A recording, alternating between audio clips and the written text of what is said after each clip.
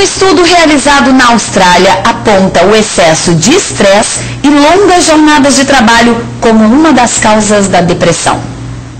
As longas jornadas de trabalho, a cobrança por resultados positivos em curto espaço de tempo, mais produtividade em menos tempo. No final do dia, o cansaço e o desânimo tomam conta do corpo. Essa fonoaudióloga já atua na profissão há 16 anos e garante se não impor limites ao próprio corpo, fica difícil manter a exaustiva rotina diária de trabalho. Chega em casa, no final, tem obrigado a gente, pelo menos, parar uma hora para depois rever as atividades que ainda faltam naquele dia e assim vai na sequência da semana. Mas é complicado, é estressante, a mente pesa, o corpo pesa, acho que tu fica em em stand-by para procurar energia para dar aquele upgrade novamente. Mas a gente sente bastante cansaço, sim. O assunto foi motivo de uma pesquisa realizada por uma universidade australiana. Segundo o estudo, uma das causas da depressão pode estar relacionada com o trabalho. O estudo contou com a participação de mais de 3.300 funcionários públicos do estado da Tasmânia, na Austrália. Foram considerados os níveis atuais de atividades físicas praticados pelos funcionários, além de alguns sintomas que ocasionam a depressão e a ansiedade.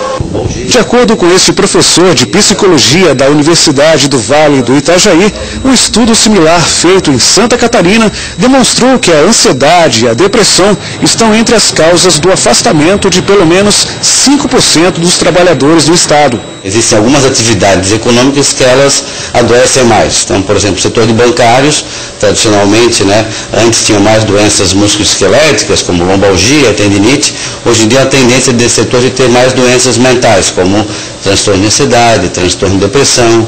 É, um outro setor com um percentual importante de adoecimento seria o setor da agroindústria, os frigoríficos. Né? Como prevenir isso? Bom, garantir condições de trabalho mais adequadas é, e uma outra forma também seria é, aprender, de certa forma, a lidar com situações estressantes. Né? Então a gente fala o manejo do estresse, o manejo de ansiedade, que pode ser feito através de exercícios de relaxamento.